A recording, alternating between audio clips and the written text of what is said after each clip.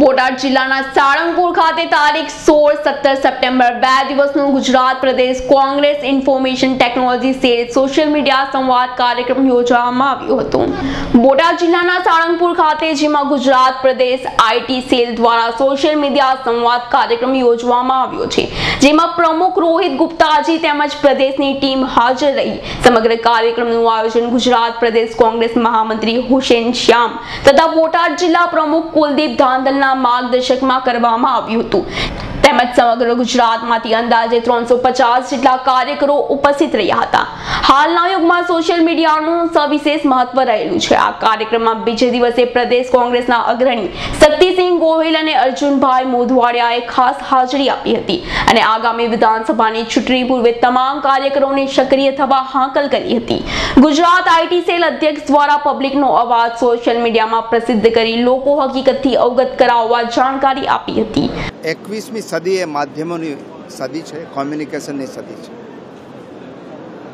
અને પરંપર, પરંપરાગત માધ્યમો માઉથ ટુ માઉથ પબ્લિસિટી હોય કે પ્રિન્ટ મીડિયા હોય, ઇલેક્ટ્રોનિક્સ મીડિયા હોય, કે વિઝ્યુઅલ મીડિયા હોય, એ મીડિયાને કે આગળ નીકળીને છેલ્લા એક દસકાની અંદર સોશિયલ મીડિયા છે, એ બધાથી આગળ નીકળી ગયું છે. અને મોસ્ટ ડેમોક્રેટિક, સૌથી વધારે જે લોકશાહી માધ્યમ છે, એ સોશિયલ મીડિયા છે, એમાં કોઈનો કંટ્રોલ નથી. એનો સદુપયોગ પણ એટલો થાય છે અને ક્યાંક દુરુપયોગ પણ એટલો થાય છે.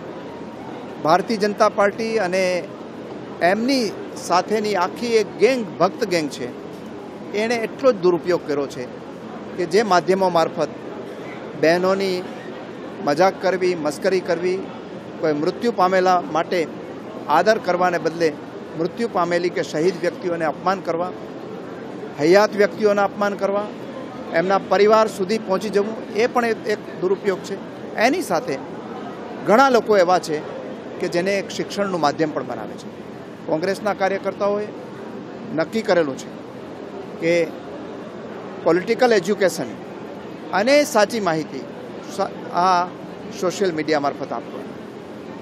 અમને ગૌરવ છે કે રોહન ગુપ્તાની આગેવાની હેઠળ અમે સૌથી પહેલાં ગુજરાતની અંદર બે હજાર અગિયારમાં આઈટી સેલની સ્થાપના કરી અને સોશિયલ મીડિયા ઉપર કોંગ્રેસની મૂવમેન્ટ શરૂ કરી. અને આજે સફળતાપૂર્વક દેશની જનતાનો અવાજ જે છે એ અમે સોશિયલ મીડિયા મારફત દેશમાં અને રાજ્યમાં આપતા રહ્યા છે. અને આવનારા દિવસોમાં પણ ભારતીય જનતા પાર્ટીના જૂઠાણાઓ, એના હેડ સ્પીચીસ આજથી શરૂ કરી અને જે તિરસ્કાર ફેલાવવાની જે વૃત્તિ છે, એને અમે પરાજિત કરીશું. ચોક્કસ માનું છું, આજકાલનું સૌથી પાવરફુલ મીડિયા હોય તો એ સોશિયલ મીડિયા છે. આ સોશિયલ મીડિયાનો દુરુપયોગ કરીને ખોટી વાતોને સાચી બતાવવાનો પ્રયત્ન કરીને ભારતીય જનતા પાર્ટીએ સત્તા મેળવી. અને ત્યારે તો સતત કહેતા હતા કે સોશિયલ મીડિયાનું માધ્યમ દરેકે માની લેવું. હવે અમિત શાહ પોતે એમ કહે છે કે વોટ્સએપ કે સોશિયલ મીડિયામાં આવેલા મેસેજને તમે માનતા નહીં.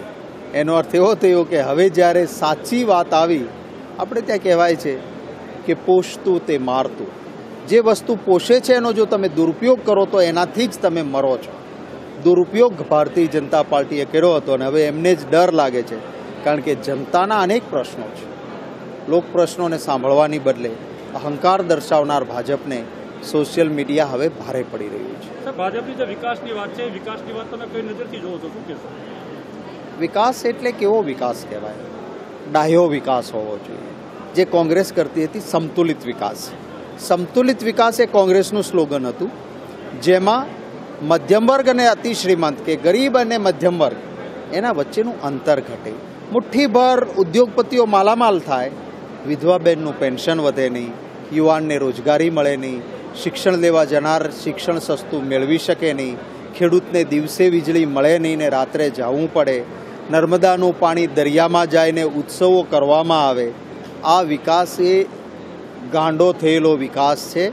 ભાજપનો વિકાસ ગાંડો થયો છે. આ જનતાએ શોધ્યું છે. અમે શોધેલો શબ્દ નથી. જનતા કહે છે ને, હવે તો જનતા કહે છે, રઘવાયો થયો, કોઈ કહે છે, હડકાયો થયો. આ શું કામ જનતા કહેવું પડે છે? કારણ કે ભારતીય જનતા પાર્ટીએ વિકાસના નામે પોતાનો જ ભ્રષ્ટાચારને વિકાસ. અને હજી ભૂલ સ્વીકારવાના બદલે ગામમાં કે ઘરમાંય કોઈ ગાંડો હોય તો એ કોઈનું ભલું કરે ખરો મારો સવાલ છે. તોય ગુજરાતના મુખ્યમંત્રી એમ કે કે અમારો વિકાસ ગાંડો ભલે હોય, પણ એ લોકોના હિતમાં છે.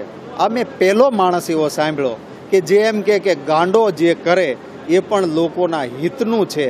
આ એમનો અહંકાર છે અને જનતા એને માફ નહીં. ઇમરાન ચોખિયાનો રિપોર્ટ બોટાદ